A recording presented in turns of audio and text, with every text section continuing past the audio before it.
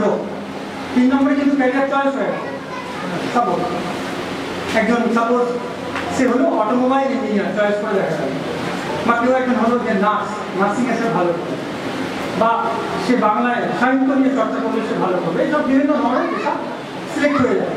কেউ হয়তো career councillor হবে কেউ হবে রাজনীতি রাজনীতি রাজনীতিবিদ। কেউ সমাজ সংস্কারক হবে সোশ্যাল ওয়ার্কার হবে। এ ধরনের হবে। অনেক পেশা ঠিক হলো।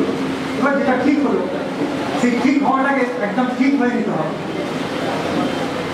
সেটা একদম ঠিকভাবে ধরে থাকতে হবে। যেটা চয়েস করলাম ফিক্স থাকতে হবে চিন্তায় খুব বেশি নড়চড় হলে হবে সেটাকে মডিফাই করা যায় সেটাকে একটু ডেভেলপ করা যায় ইন্টারডিসিপ্লিনারি স্টাডিজ আছে, অর্থাৎ একটা বিষয় নিয়ে পড়েছি, একটা বিষয় নিয়ে বিয়ে এম এ করেছি তার মানে নয় অন্য কিছু পারব এটা মানুষের অনেক কিছু করার সুযোগ আছে।